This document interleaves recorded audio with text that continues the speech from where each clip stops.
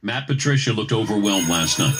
And you're at home. Look at him Is this shit worth you losing your Look at job? You about to lose your job. Get this thing. You about to lose your job. Get this thing. You, you, you, you about to lose your job. You, you, you about to lose your job. Get this thing. You, you, you about to lose your job. I'm my genius. And you about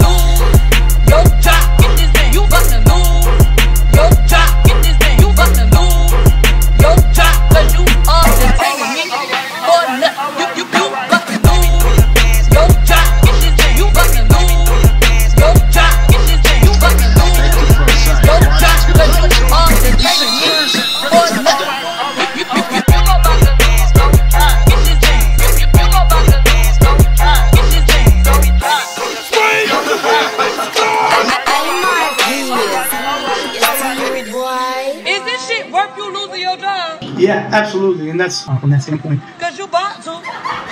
Cause you ain't got no reason. Matt Patricia, I would bet against success.